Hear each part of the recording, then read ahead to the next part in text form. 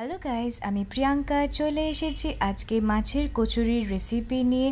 তাও আবার ভেটকি মাছের কচুরি। আশা করি তোমাদের সবার খুব ভালো লাগবে। আমরা অল্প করে রিফাইন অয়েল কড়াইতে দিয়ে দিয়েছি। তেল গরম হয়ে আসলে আমরা এখানে দুখানা পেঁয়াজ লম্বা লম্বা করে ঝিরিঝিরি করে কেটে নিয়েছি। সেটাকে এবারে আমরা তেলের মধ্যে দিয়ে দেবো। দিয়ে খুব ভালো করে এবারে নাড়াতে থাকব। সাইডে দেখে নাও, আমি এখানে চারখানা এরকম ভেটকি মাছের পিস নিয়ে নিয়েছি। এটা কিন্তু একদমই কোনো কাটা নেই। পুরো একদম যে সলিড যে মাছটা, সেটাই শুধু আছে। পাতি লেবু দিয়ে কিন্তু আমরা মাছটাকে এরকম ধুয়ে রেখেছি। এবার চলো আমরা কড়াইতে পেঁয়াজটাকে ভালো করে ভেজে নিই। আমরা এটাকে হালকা খয়েরির মতন ফ্রাই করতে থাকব। হালকা লাল লাল হয়ে আসলে কিন্তু আমরা দিয়ে দেবো। আমাদের কিন্তু খুব একটা লাল বা খয়েরি বা ব্যারিসটা কিন্তু করতে হবে না। এই পজিশনে আমরা এবারে মাছগুলোকে সব দিয়ে দেবো। আমরা মাছগুলোকে দিয়ে খুব ভালো করে এবারে নাড়াবো। নাড়ানোর পর এবারে আমরা সব মশলাগুলোকে এবারে দিতে থাকব। এবারে আমরা আন্দাজ মতো নুন দিচ্ছি, আর দিচ্ছি আন্দাজ মতন হলুদ। এবারে দেব হাফ টেবিল স্পুনের মতন আদা বাটা, হাফ টেবিল স্পুনের মতন লঙ্কা বাটা, আর হাফ টেবিল স্পুনের একটু কম রসুন বাটা দেব।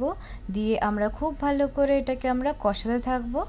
আমরা এটাকে খুব ভালো করে কষাবো। এবার সাইডে আমরা একটা মিডিয়াম সাইজের আলু এরকম সেদ্ধ করে রেখে দিয়েছি। এবার কড়াইতে কিন্তু আমরা মশলাটাকে খুব ভালো করে কষাবো। কোনো রকমের যাতে গন্ধ না থাকে। যদি মনে হয় যে গন্ধ আছে, তো অবশ্যই কিন্তু আমাদের অল্প একটু করে জল দিয়ে মশলাটাকে কষাতে হবে। আর এই মাছগুলোকে কিন্তু আমরা খুন্তি দিয়ে কিন্তু ভাঙতে থাকব। আমাদের কিন্তু সব কিছু এরকম স্ম্যাশ করে দিতে হবে একদম। আমাদের কিন্তু এই জিনিসটা অবশ্যই মাথায় রাখতে হবে। কোনো রকমের যাতে বড় টুকরো ভেটকি না থাকে, সেটা কিন্তু মাথায় রাখতে হবে। নাহলে যখন আমরা পুর করব, যখন আমরা বেলতে যাব, তখন কিন্তু ওই বড় টুকরো থাকলে কিন্তু অবশ্যই এটা ফেটে বেরিয়ে যাবে। আমার মনে হলো যে মশলাটা একটু কষানো হয়নি ঠিক মতন, রসুনের গন্ধ বেরাচ্ছে, তাই আমি একটু স্লাইড জল দিয়ে কিন্তু মশলাটাকে আবার কষাচ্ছি। এই লেভেলে কিন্তু আমি আবার আলুগুলোকে যে আমরা সেদ্ধ করে রেখেছিলাম সেইগুলোকে একদম আমি কড়াইতে দিয়ে দেবো। দিয়ে খুব ভালো করে এটাকে আস্তে আস্তে করে মাছের সাথে আলুগুলোকে খুব ভালো করে এটাকে মিক্স করতে থাকব। আমাদের মেশানোটা কিন্তু খুব ভালোভাবে হয়ে গেছে। এবারে এটাকে আমরা আরও টানতে দেবো। ভালো মতনভাবে যখন এটা টেনে আসবে পুরো, তখন আমরা অল্প একটু করে গরম মশলার গুঁড়ো ছিটিয়ে দেব। আমি এখানে খুবই অল্প গরম মশলার গুঁড়ো ছিটিয়ে দিয়েছি। আমরা খুব ভালো করে এটাকে সুন্দর করে মিশিয়ে নেব। এরপরে আমরা অল্প একটুখানি ছাতু দেব। ছাতুটা দিচ্ছি কারণ কি? যাতে কোনো রকমে পুরটা বেলতে গিয়ে যাতে না বেরায়। সেটার জন্য এটাকে আমরা করছি। আমরা একদমই অল্প একটু করে ছাতু দেবো। এটাকে আমরা খুব ভালো করে কিন্তু মিশিয়ে নেব, মিশিয়ে নিলেই কিন্তু আমাদের এটা একদম রেডি হয়ে যাবে। তখন আমরা এটাকে নামিয়ে দেব। এবারে ময়দা মাখাও আমাদের রেডি এবার আমরা লেচি কেটে নিয়েছি কয়টা। এরকম আমরা পুরটাকেও সাইডে রেখে নিয়েছি। এবারে ভালো করে একটা লেচিকে গোল করে আমরা আস্তে আস্তে করে উপরগুলোকে আমরা প্রেস করতে থাকব আর বাটির মতন গোল করতে থাকব। অবশ্যই কিন্তু মাঝখানটা কিন্তু আমরা প্রেস করব না বাট আমাদের কিন্তু অবশ্যই মাথায় রাখতে হবে। আমরা যখন বাড়িটাকে বড় করব, তখন কিন্তু অবশ্যই শুধু সাইডগুলোকেই কিন্তু চাপবো। কোনো রকমের সেন্টারটাকে কিন্তু করব না। নাহলে যখন কি হবে, পুরটা যখন দেব, মাঝখানটা যদি পাতলা থাকে বেলতে গেলেই কিন্তু পুরটা কিন্তু একদম বেরিয়ে যাবে, সেটা কিন্তু ভালো হবে না।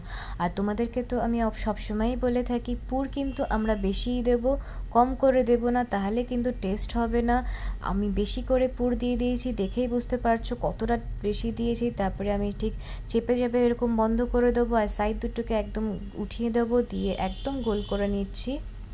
এইভাবে আমি সমস্তগুলোকে করে নেব। এবার কড়াইতে আমি অনেকটা করে তেল বসিয়ে দিয়েছি। তেলটা গরম হতে থাকুক, ততক্ষণ তোমাদেরকে একখানা আমি বেলে দেখিয়ে দিচ্ছি। এই দেখো বন্ধুরা, আমি এখানে তেল নিয়ে নিয়েছি। তেলের মধ্যে ভালো করে চুবিয়ে আমি এবারে হালকা করে প্রেস করতে থাকব হাত দিয়ে। তারপরে আমি বেলবো। আগেই কিন্তু আমি বেলছি না। তাহলে কিন্তু অনেক সময় চান্সেস থাকে যে বেরিয়ে যাওয়ার। এই দেখো বন্ধুরা, এবার আস্তে আস্তে করে যেরকমভাবে আমরা বেলি, ঠিক সেইভাবেই এটাকে আমরা বেলবো। ব্যাস, এইভাবেই কিন্তু আমাদের বেলাও একদম রেডি হয়ে যাবে।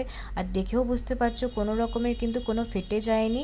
খালি মাছ আছে যেহেতু, ওই জন্য এরকম বোঝা যাচ্ছে যে এখান, এই সব জায়গাগুলোতে মাছ আছে।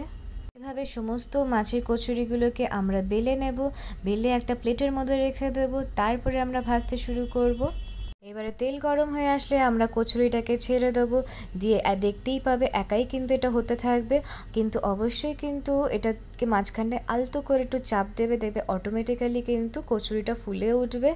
এবারে আমরা আস্তে করে এটাকে উল্টে দেব, দিয়ে আবার হতে দেব। তারপরে কিন্তু আমরা যেরকম নর্মালি ভাজি লুচি ফুচি, হালকা একটু লাল লাল যেরকম হয়, অনেকে লাল খেতে পছন্দ করে হালকা, অনেকে হোয়াইট হোয়াইট খেতেই পছন্দ করে। যে যেরকম খেতে পছন্দ করো, সে সেরকমভাবে কচুরিটাকে ভেজে তুলবে। আমি যেরকম হালকা লাল লাল একটু পছন্দ করি, তাই আমি হালকা লাল লাল হয়েছে যখনই, তখনই কিন্তু আমি এটাকে ভেজে তুলে নিচ্ছি। এরম করে আমি আরও একটা ভাজা দেখিয়ে দিচ্ছি তোমাদেরকে। আমি আবার একটাকে ছাড়বো, দিয়ে মাঝখানটাকে আস্তে করে এটাকে দিয়ে প্রেস করব। দেখবে অটোমেটিক্যালি কিন্তু কচুরিগুলো সব ফুলবে। এই দেখো বন্ধুরা, আমার কিন্তু প্রত্যেকটা কচুরি কিন্তু ফুলেছে। হালকা লাল লাল হয়ে আসলেই কিন্তু আমরা কচুরিটাকে তুলে নেব। এবারে আমি তোমাদের সাথে একটা কথা শেয়ার করি। এই যে মাছের কচুরি কিন্তু অনেকে পোনা মাছের করে, অনেকে ভেটকির করে। ভেটকিরটা কিন্তু খুবই কম মানুষকেই আমি দেখেছি, তাই আমি তোমাদের সাথে প্রথমে ভেটকিটাই তুলে ধরলাম। এরপরে অবশ্যই আমি যখন আবার ভিডিও করব, যখন কিছু নতুন মাথার মধ্যে খেলবে, যখন আমার অবশ্যই আমি পোনা মাছটাকে নিয়ে আসব বা অন্য কোনো মাছেরও হোক, আমি অবশ্যই তুলে তোমাদের সাথে ধরবো। আশা করি তোমাদের সবার খুব ভালো লেগেছে। এই রেসিপিটা অবশ্যই কিন্তু বাড়িতে একবার হলেও ট্রাই করবে। তোমরা অবশ্যই নিজের ফ্যামিলির সাথে ফ্রেন্ডসের সাথে শেয়ার করো আর অবশ্যই নিজেদের মাদেরকে বলো যে একবার হলেও এটা করে দিতে। তোমাদের সবার খুবই কিন্তু এটা ভালো লাগবে। এটা কিন্তু একটা অসাধারণ রেসিপি আমি গরম গরম ভেটকি মাছের কচুরিগুলো কিন্তু ছোলার ডাল দিয়ে সার্ভ করেছি। তোমরা চাইলে যে কোনো সাইড ডিশ দিয়ে তোমরা সার্ভ করতে পারো। আমার ভিডিও তোমাদের ভালো লেগে থাকে, তাহলে অবশ্যই আমার চ্যানেলটিকে সাবস্ক্রাইব করো।